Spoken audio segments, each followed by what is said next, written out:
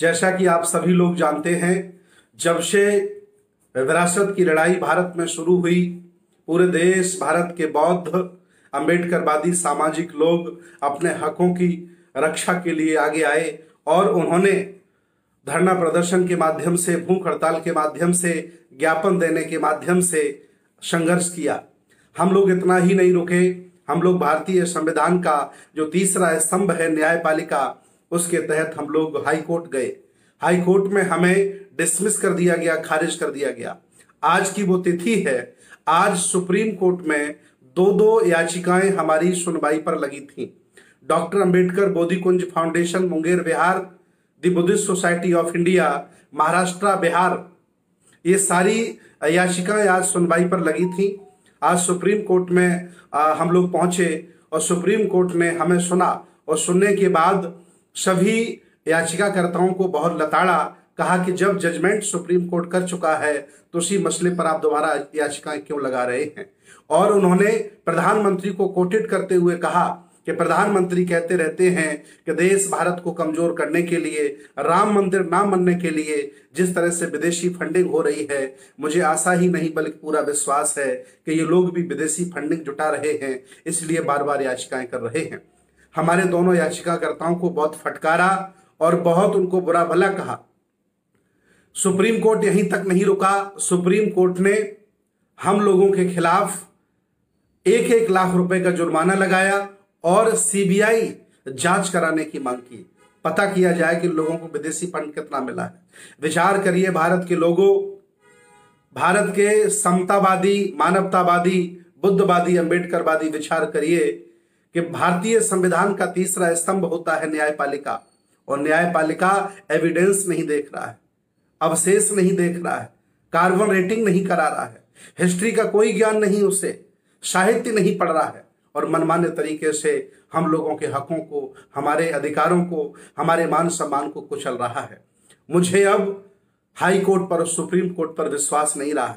मैं भारत के बौद्धों से मानवतावादी लोगों से, विज्ञानवादी लोगों से, तर्कवादी लोगों से आह्वान करता हूँ कि अब आप सुप्रीम कोर्ट, हाई कोर्ट के चक्कर में ना पड़े। आप सीधे जनता की अदालत में पहुँचे और जनता की अदालत ही इनकी इनकी मति को ठिकाने लगा सकती है। हम सब लोग आहत हैं, बहुत दुखी हैं कि आज सुप्रीम कोर्ट ने हम बौद्धों की कोई नहीं सुनी, एक भी नहीं मानी। हम लोग बहुत आहत हैं। अब हम लोग निराश नहीं होंगे।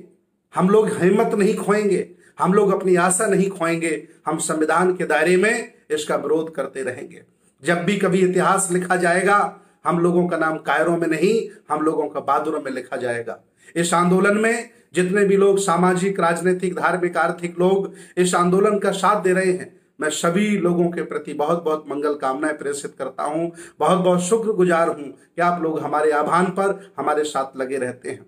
आज बहुत बुरी खबर है कि आज सुप्रीम कोर्ट ने जुर्माना लगाया है कि आपकी हिम्मत कैसे पड़ी, आप सुप्रीम कोर्ट राम मंदिर के खिलाफ चले आए। इससे बुरा दिन कुछ नहीं हो सकता है। ये लोकतंत्र की हत्या है, ये लोकतंत्र की हत्या है, तानाशाही है, देश तानाशाही और लोकतंत्र की खिलाफत के साथ आगे बढ़ रहा है। मुझे बहुत दुख है, लेकिन हम हिम्मत नहीं हारेंगे और हम अपने अधिकारों के लिए, अपनी विरासत के लिए संघर्ष करते रहेंगे। बौद्धों को बहुत बुरी तरह से देश, भारत के अल्पसंख्यक चातुर्य बड़ व्यवस्था को मानने वाले मात दे रहे हैं, हरा रहे हैं। क्योंकि वो इस समय ऐसे स्थान पर बैठे हुए हैं जहाँ से वो हम लोगों को नुकसान पहुँचा सकते हैं। लेकिन अंतर्राष्ट्रीय दबाव बनाना ये बौद्धों की ज़िम्मेदारी है। साकेत मुक्ति आंदोलन ने बैठक करके ये निर्णय लिया है कि भारत के बाहर जितने भी ऐसे देश हैं, जिन्हें लोकतंत्र पर भरोसा है, जिन्हें बुद्ध की विचारधारा पर भरोसा है याद रखना, दुनिया के बौद्धों के लिए तीर्थ स्थान पूरा भारत होता है। दुनिया में जितने भी बौद्ध रहते हैं, जब भी उनका मन सुकून चाहता है तो वो बोध गया आ जाते हैं। सारनाथ आ जाते हैं, लुम्बनी आ जाते हैं, श्रावस्ती आ जाते हैं। उन सभी बौद्धों के बीच में मैं अपील करूँगा।